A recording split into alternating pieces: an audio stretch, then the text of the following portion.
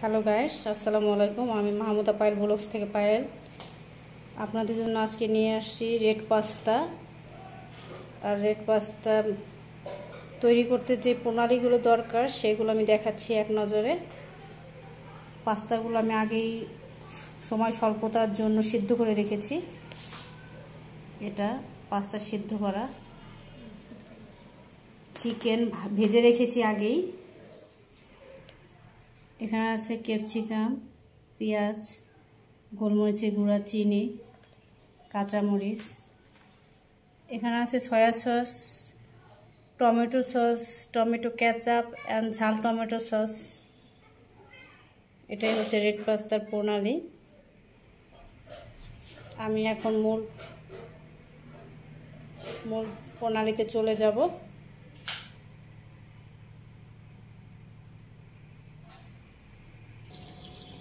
Hello guys আমি এখন এই যে চলে এসেছি।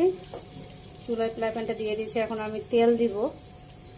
পরিমাণ মতো তেল দিয়ে দিবেন। যতটুকু পরিমাণ পাস্তা, ততটুকু পরিমাণ তেল দিয়ে দিবেন।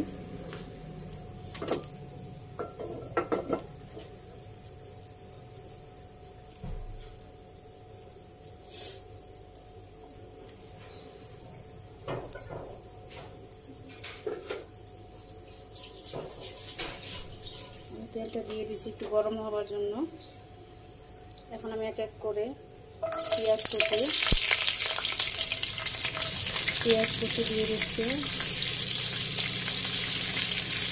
ক্যাপসিকাম দিয়ে দিচ্ছি।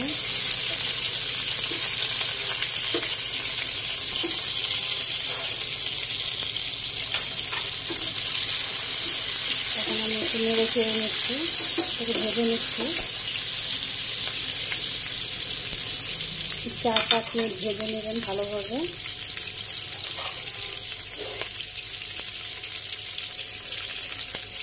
আমি একটু লবণ নিয়ে নিচ্ছি। এক চামচ লবণ দিয়ে দেবেন। এক চামচ চিনি এক চামচ চিনি দিয়ে দেবেন।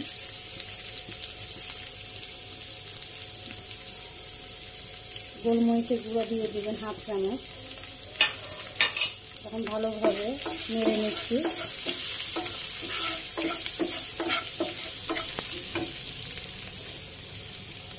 এখন আমি সস দিয়ে দিব, টমেটো সস।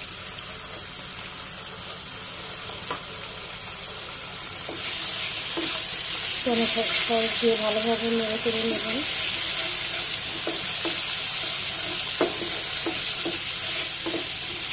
এরপর আমি দিয়ে দেব হট সস দুই চামচ পরিমাণ মতো। এরপর আমি দিয়ে দেব টমেটো ক্যাচাপ দুই টেবিল চামচ পরিমাণ।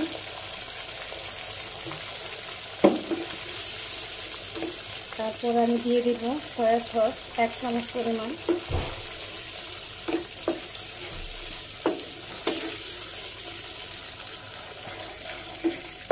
ভালোভাবে নিচ্ছি এরপর আমি দিয়ে দেবো চিকেন চিকেনটা আগেই ভেজে রেখেছিলাম। সেটাই দিয়ে দিয়েছি।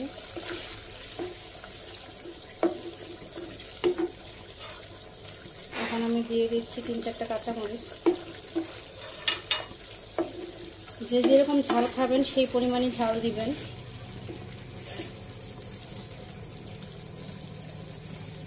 এখন আমি দিয়ে দিচ্ছি এক চামচ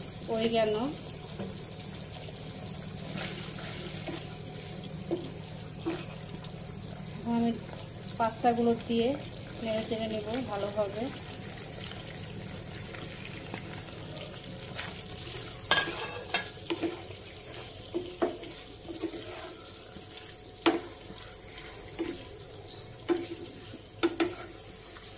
ভালোভাবে নেড়ে চেড়ে পাঁচ মিনিটের জন্য ঢেকে দিবেন।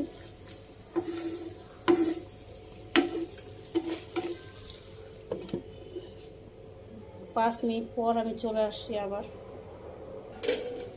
হ্যালো গাইস আমার পাস্তা রেড পাস্তা একদম পরিবেশনের জন্য রেডি আমি এখন পরিবেশন করব।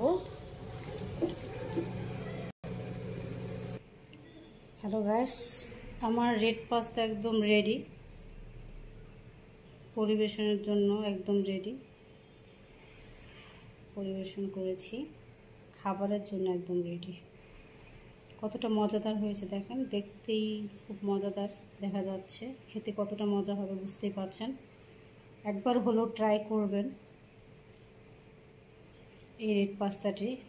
অবশ্যই আমাকে একটি লাইক কমেন্ট শেয়ার একটা সাবস্ক্রাইব করবেন। নতুন নতুন ভিডিও পেতে।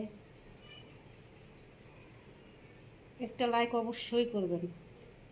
আপনাদের জন্যই আমার এই কষ্ট।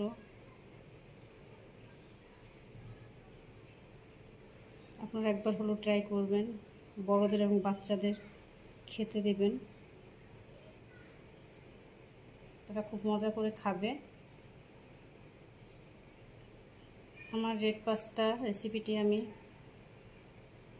এখানে শেষ করছি। বিদায়, টাটা।